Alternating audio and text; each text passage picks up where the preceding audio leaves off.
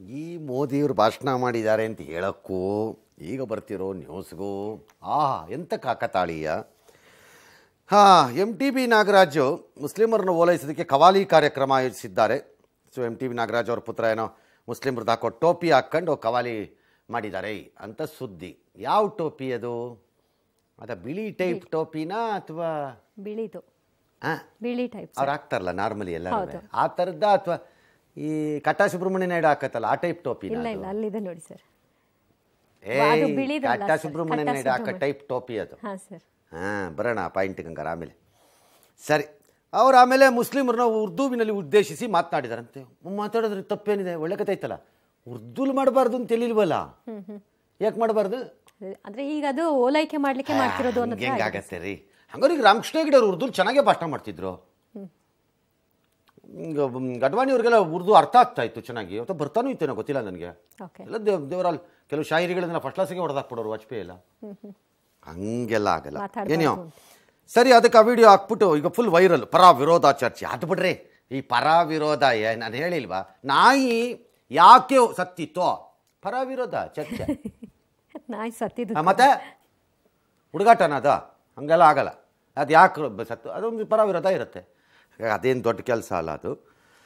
ಸರಿ ಅದಕ್ಕೆ ಅವ್ರು ಭಯ ಅನಗತ್ಯವಾಗಿ ಮಾಡಬೇಡ್ರಿ ಇದು ಪಕ್ಷದ ಕಾರ್ಯಕ್ರಮ ಅಲ್ಲ ಪ್ರತಿ ವರ್ಷವೂ ಮಾಡ್ತೀವಿ ನಾವು ಅಂತಂದರೆ. ಈ ಕಡೆ ಕಾಂಗ್ರೆಸ್ನವರು ಆ ನಾನ್ ನಾಯಕಿ ಕಾರ್ಯಕ್ರಮಕ್ಕೆ ಎರಡು ಸಾವಿರ ರೂಪಾಯಿ ಕೊಟ್ಟು ಕರ್ಕೊಂಬಂದಿದ್ರು ಅಂತ ಬಿ ಜೆ ಪಿಯವರು ಆರೋಪ ಮಾಡಿ ಅಲ್ಲಿ ಯಾವುದೋ ಒಂದು ವೀರ ವಿ ಯಾವುದೋ ವಿಡಿಯೋ ಯಾವುದೋ ಇದ್ದಿದ್ದನ್ನು ನಾನು ತಗೊಂಡಾಗ್ತಾರೆ ಮೋಸ್ಟ್ಲಿ ಎಲ್ಲ ಪೊಲಿಟಿಕಲ್ ಪಾರ್ಟಿನವರು ಈ ಸಮಾವೇಶಗಳೆಲ್ಲ ಮಾಡಿದಾಗ. ಇವ್ರು ಇವ್ರ ಕಡೆಯವ್ರನ್ನ ಮೊಬೈಲ್ ಕೊಟ್ಟು ಕಳಿಸಿರ್ತಾರೇನೋ ಅಲ್ಲಿಗೆ? ಎಲ್ಲ ಎತ್ಕೊಂಬ ಎಲ್ಲ ಎತ್ಕೊಂಬ ಅಂತ. ಮೋಸ್ಟ್ಲಿ ಹಂಗೆ ಇರುತ್ತೆ ಅದು. ಕೊಟ್ಟಿದ್ದಾರೆ ಅದಕ್ಕೆ ಅವ್ಯವಸ್ಥೆ ಏನೇನೋ ಮಾಡಿದಾರಪ್ಪ. ಇದೇನಾ ಗೃಹಲಕ್ಷ್ಮಿ ಯೋಜನೆ ಅಂತೆಲ್ಲ ಕೇಳಿದ್ದಾರೆ. ಏ ರ್ಯಾಲಿಗಳದ್ದು ಒಂದು ಹೇಳ್ತೀನಿ. ನಿಮ್ಮ ಎಲ್ಲ ರ್ಯಾಲಿಗಳಿಗೂ ನೀವು ಕಾಸು ಕೊಟ್ಟು ಕರ್ಕೊಂಬರೋ ಗಿರಾಕಿಗಳೇ. ಎಲ್ಲ ಪಕ್ಷದವರು ಅಷ್ಟೇ. ಎಲ್ಲರದ್ದು ಅದೇ ರೋಗ. ಹ್ಞೂ ಬಂದ್ಬಿಡ್ತಾರೆ ಪುಕ್ಕಟ್ಟೆ ಜನ ನಿಮಗೆ. ಯಾರು ಬರಲ್ಲ. ಟೋಪಿ ಕತೆ. ಬೇಸಿಕಲಿ ಸ್ಕಲ್ ಕ್ಯಾಪ್ ಅವ್ರು ಹಾಕ್ತಾರಲ್ಲ ಅದು? ಅದು ಮುಸ್ಲಿಮರ ಧರ್ಮ ಮತ್ತು ಅವರ ಪ್ರಾರ್ಥನೆ ಅಥವಾ ಉಳ್ಳದಿದ್ದೆಲ್ಲ ಸಂದರ್ಭಗಳಲ್ಲಿ ಅವ್ರು ಬಹಳ ಧಾರ್ಮಿಕ ಸಿಂಬಲ್ ಥರನೂ ಒಂಥರ. ಬಳಸ್ಕೊಳ್ಳೋದು ಸರಿ. ಇವ್ರು ಹಾಕಿರೋ ಟೋಪಿ ಅದಲ್ಲ. ಕಟ್ಟ ಸುಬ್ರಹ್ಮಣ್ಯ ನಾಯ್ಡು ಇದನ್ನ ಇಪ್ಪತ್ತೈದು ವರ್ಷದಿಂದ ಹಾಕತ್ತಾ ಇದ್ದಿದ್ದು ನೋಡ್ತಿದ್ದೆ ನಾನು. ಹಾ. ಅದಲ್ಲ ಅದು ಬೇರೆ ಟೋಪಿ ಇದು. ಚಳಿಗೂ ಸುಮ್ಮನೆ ಟೋಪಿ ಹಾಕಿಸ್ಕೊಬಿಡಿ ಎಲ್ಲ ಕೆ ಯಾವ್ಯಾವ್ದೋ ನ್ಯೂಸ್ ನೋಡ್ಕೊಂಡು. ಪಕ್ಷದ ಕಾರ್ಯಕ್ರಮ ಅಲ್ಲ.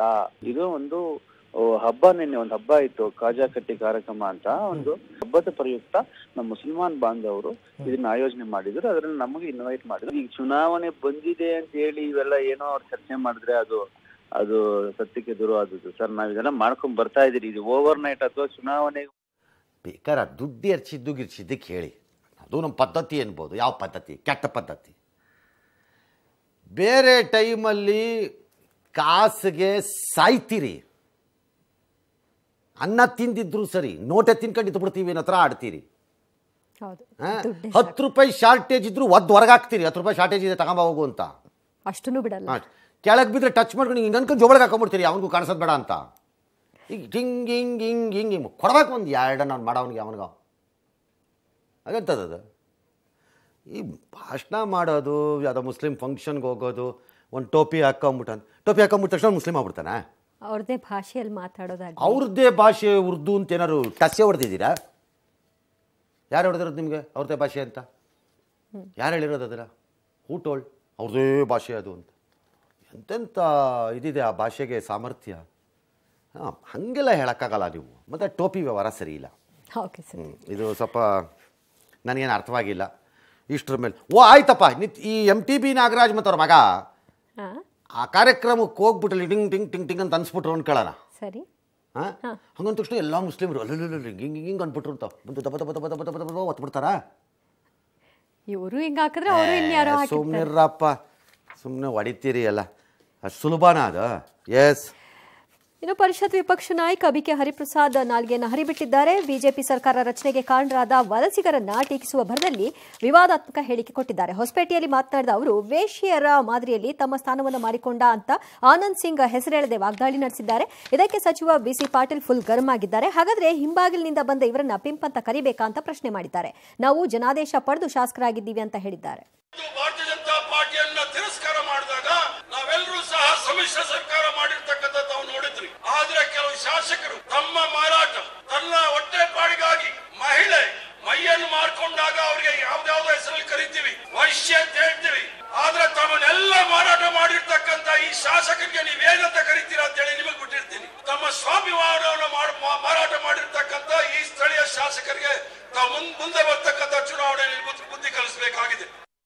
ನಮ್ಮ ಮೇಲೆ ಈ ಪದ ಬಳಕೆ ಮಾಡಬೇಕು ಅಂದ್ರೆ ಕಾರಣ ಯಾರು?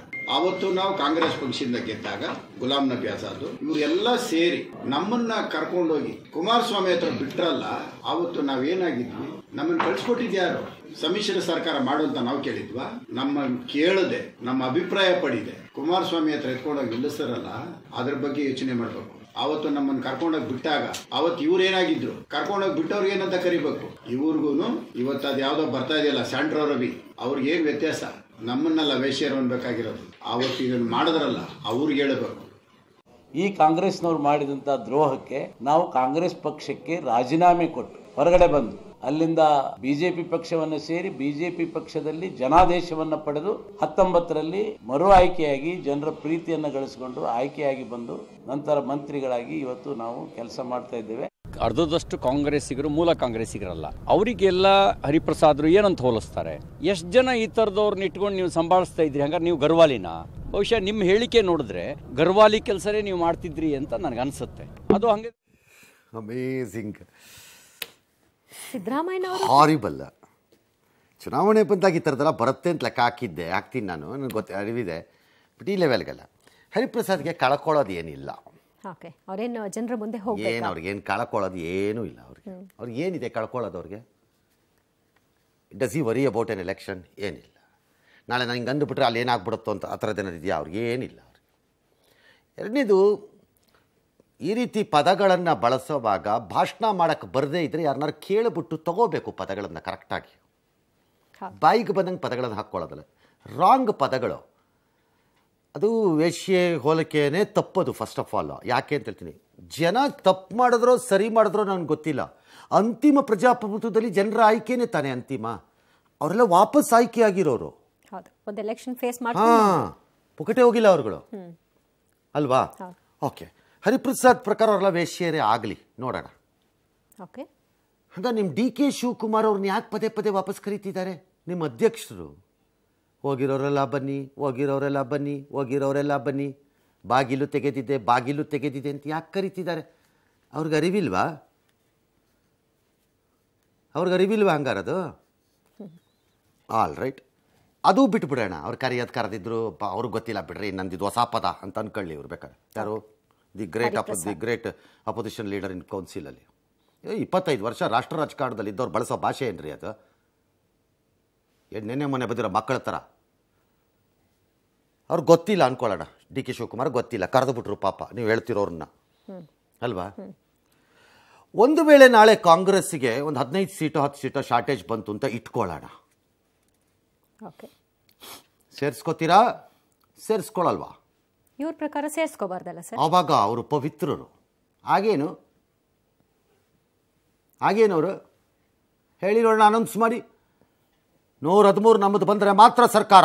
ಐದು ಶಾರ್ಟೇಜ್ ಬಂದರೆ ಯಾವನೂ ತಗೊಳ್ಳಲ್ಲ ನಾವು. ಬಿಕಾಸ್ ಅವರೆಲ್ಲ ವೇಷ್ಯರು ಹೇಳಿ ನೋಡೋಣ. ಹೇಳ್ರಿ ಸ್ವಾಮಿ. ನೆಕ್ಸ್ಟ್ ಭಾಷಣದಲ್ಲಿ ಹೇಳಿ ಅದೆಲ್ಲ ಹೇಳ್ತೀರೋ ನೋಡ್ತೀನಿ ನಾನು. ಸುಮ್ಮನೆ ಉಡಾಪೆ ಚಿಕ್ಕವ್ರು ಯಾರ್ಯಾರ ಬುದ್ಧಿ ಇಲ್ಲದೆ ಇರೋರೆಲ್ಲ ಮಾತಾಡಿದ್ರು ಓಕೆ. ಇಪ್ಪತ್ತು ಇಪ್ಪತ್ತೈದು ವರ್ಷ ರಾಷ್ಟ್ರ ರಾಜಕಾರಣದಲ್ಲಿ ಡೆಲ್ಲಿಲಿ ಕೂತ್ಕೊಂಡು ಮಾತಾಡಿ ಇಲ್ಲಿ ಬಂದು ಮಾತಾಡಿ ಅನುಭವ ಇದ್ದವ್ರಲ್ಲ ಬಾಯಿಗೆ ಬಂದಂಗೆ ಮಾತಾಡಿದ್ರೆ. ಎಸ್ ಅಭಿವೃದ್ಧಿ ಬಗ್ಗೆ ಕೇಳಬೇಡಿ. ಲವ್ ಜೀವಾದ ಬಗ್ಗೆ ಚಿಂತಿಸಿ ನಳಿನ್ ಕುಮಾರ್ ಕಥೆಯಲ್ಲಿ ಹೇಳಿದ್ರೆ ಇವತ್ತು ಅದಕ್ಕೆ ದಿ ಸ್ಪಿನ್ ಮಾಸ್ಟರ್ ಅಂತ ಕರಿಬೇಕು. ಸ್ಪಿನ್ ಮಾಸ್ಟರ್ ಯಾರು? C T Ravi. C T Ravi spin master. ಅವ್ರ ಬಾಲನ್ನು ಹಿಂಗಾಕಿ ಎಡಕ್ಕೂ ತಿರುಗಿಸ್ಕತ್ತಾರೆ ಬಲಕ್ಕೂ ತಿರುಗಿಸ್ಕೊತಾರೆ ಪ್ಲೇಯರ್ ಕನ್ಫ್ಯೂಸ್ ಆಗ್ತಾ ಇದ್ರೆ ಸ್ಟ್ರೈಟ್ ಬೌನ್ಸರ್ ಆಗ್ತಾರೆ ಒಂದು. ಅವರು. ಇವರು this man is a spin master okay ಅವರು ನೋಡಿ ಕಟೀಲ್ ಅವರು ಹೇಳಿರೋದು ಇದೆಯಲ್ಲ? ನಮಗೆ ಲವ್ ಜಿಹಾದೂ ಬೇಕು ಅಭಿವೃದ್ಧಿನೂ ಬೇಕು ನಮಗೆಲ್ಲ ಬೇಕು ಒಟ್ಟಾಗಿ ತೆಗೆದುಕೊಂಡು ಹೋಗ್ತೀವಿ ಅಂತ ಬಿಟ್ಟಿದ್ದಾರೆ. ರೇ ಸ್ವಾಮಿ ನೀವೇನ್ರಿ ಅವ್ರದ್ದು ವಾಗ್ತಾರರ ನೀವು? ಕಟೀಲೇ ಹೇಳ್ಬೋದಿತ್ತಲ್ಲ ಇದೆಲ್ಲ? ಅವರ ಅಭಿವೃದ್ಧಿಯನ್ನ ಸಣ್ಣ ಸಣ್ಣ ವಿಷಯ ಕೇಳಬೇಡಿ ಕೇಳಬೇಡಿ ಅಂತಾರೆ. ನೀವು ಅದಾಗ ಅವರೇ ಹೇಳ್ಬೋದಿತ್ತಲ್ಲ ಇದನ್ನ ಕೇಳಿ ನಮ್ಮನ್ನ ಅಭಿವೃದ್ಧಿ ವಿಚಾರದಲ್ಲಿ. ಆದರೆ ಲವ್ ಜಿ ಅದು ಇಂಪಾರ್ಟೆಂಟ್ ಅಂತ ಹೇಳ್ಬೋದಿತ್ತಲ್ಲ ಕಟೀಲೆ. ಅವ್ರ ಮಾತು ಇವ್ರು ಹೇಳೋದು. ಎಸ್ ಮುಂದಕ್ಕೆ ಹೋಗೋಣ. ಭಾರತ್ ಜೋಡೋ ಪಾದಯಾತ್ರೆ ವೇಳೆ ಮತ್ತೊಮ್ಮೆ ಭದ್ರತಾ ಲೋಪ ಆಗಿದೆ. ಪಂಜಾಬ್ನ ಹೋಶಿಯಾರ್ಪುರ್ನಲ್ಲಿ ಸಾಗ್ತಾ ಇದ್ದ ವೇಳೆ ಈ ಯಾತ್ರೆಯಲ್ಲಿ ಝಡ್ ಪ್ಲಸ್ ಭದ್ರತೆ ಭೇದಿಸಿ ಯುವಕನೊಬ್ಬ ರಾಹುಲ್ ಗಾಂಧಿಯನ್ನು ಅಪ್ಪಿಕೊಳ್ಳೋದಕ್ಕೆ ಬಂದಿದ್ದಾನೆ. ಕೂಡಲೇ ಕಾರ್ಯಕರ್ತರು ಆತನನ್ನ ತಡೆದ್ರು. ಇದನ್ನ ನೋಡಿದ ಕೂಡಲೇ ರಾಹುಲ್ ಗಾಂಧಿ ಗಾಬರಿಯಾದ್ರಂತೆ. ಝಡ್ ಪ್ಲಸ್ ಭದ್ರತೆ ಉಲ್ಲಂಘಿಸಿ ಆ ಯುವಕ ರಾಹುಲ್ ಗಾಂಧಿ ಬಳಿ ಬಂದದ್ದು ಹೇಗೆ ಅನ್ನೋದು ಈಗ ಸದ್ಯ ಪ್ರಶ್ನೆ. ಕಾಂಗ್ರೆಸ್ ಮತ್ತೊಮ್ಮೆ ರಾಹುಲ್ ಭದ್ರತೆ ಬಗ್ಗೆ ಆತಂಕವನ್ನು ವ್ಯಕ್ತಪಡಿಸ್ತಾ ಇದೆ.